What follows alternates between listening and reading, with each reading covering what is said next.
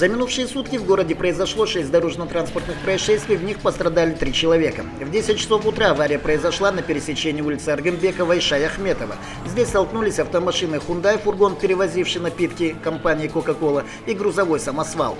Как рассказали участники ДТП, Hyundai ехал по главной дороге улицы Аргамбекова, а грузовик выезжал со второстепенной дороги улицы Шая Ахметова. Столкновение произошло в центре перекрестка. При этом в момент столкновения светофоры не работали.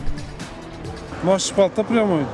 Я ехал по главной дороге, уже подъезжал к перекрестку, когда с второстепенной дороги выехал грузовик. Я нажал на тормоз, но остановиться не успел. Грузовик задними колесами зацепил мою машину, протащил за собой, и когда мои колеса зацепили за бордюр, машина перевернулась. От удара у Хундаи вылетело лобовое стекло, кабина получила серьезные повреждения, а часть продукции вывалилась на землю. К счастью, в аварии никто из людей не пострадал. Грузовик отделался лишь царапиной колеса.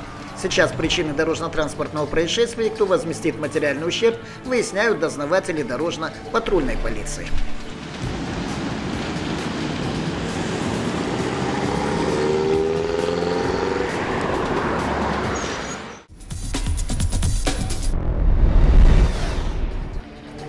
Днем примерно в 4 часа сотрудников дорожно-патрульной полиции вызвали полицейские, дежурившие на углу проспекта Толкихана и улицы Байтурсынова. В камеру наблюдения они обнаружили возле магазина «Гарант» автомашину марки «Опель Вектра».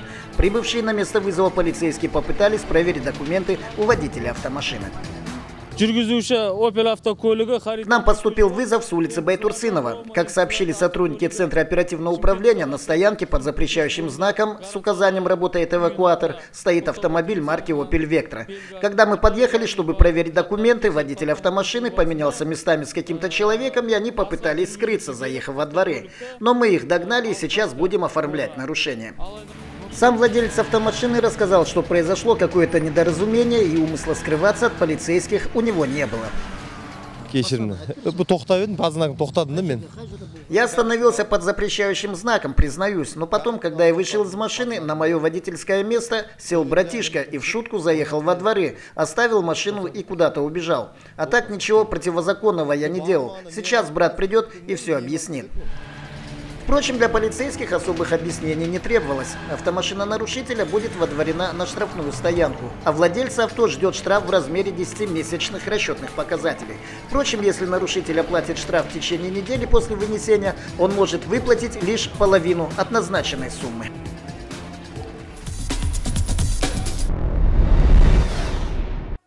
Три часа дня к спасателям оперативного отряда департамента ПЧС с просьбой о помощи обратилась женщина-жительница микрорайона «Восток». Она рассказала, что ее пожилой соседке срочно требуется помощь, и, возможно, даже медицинская. Не, верхний замок или нижний замок? Вот тут один. А, ну вот.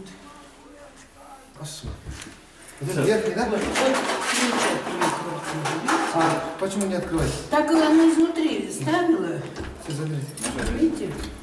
Как сообщила спасателям пострадавшая женщина, она упала в квартире и уже несколько часов не может подняться. В замке дверей она оставила ключи, поэтому спасатели приняли решение дверь вскрыть, взломав замок. Войдя в квартиру, спасатели обнаружили женщину, лежащую на полу. Оперативники подняли пострадавшую, перенесли ее на диван, а позже передали в руки врачей скорой медицинской помощи